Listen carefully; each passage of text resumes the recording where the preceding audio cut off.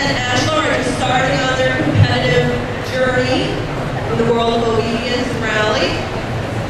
They're practicing very hard. And you can see he's paying lovely attention to her. The nice thing in rally is that you can talk to your dog throughout the entire performance.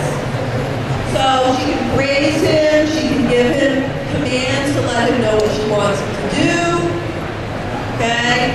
So it's all about all the sports you're going to see us demonstrate show how the handler and the dog work together.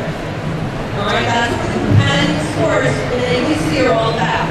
Very much a team sport. Okay, that was their left about turn. Very nicely done. Okay, it's very cute. And actually, like keep going up on this little finish there. Now they're going to do spirals. So you're going to see them circle three cones, then two cones, then one cone.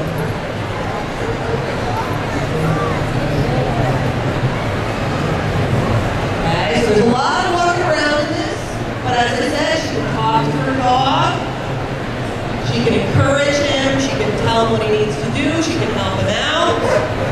Okay, we're not allowed to touch the dog at any time during the competition. But we can praise them, we can tap our leg, we can guide them visually with our hands. We just can't actually